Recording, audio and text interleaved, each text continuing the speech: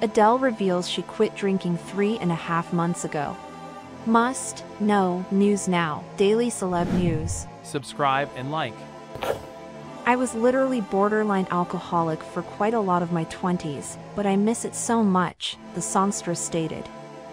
I stopped drinking quite a long time ago. I stopped drinking. When did I stop drinking? It feels like forever.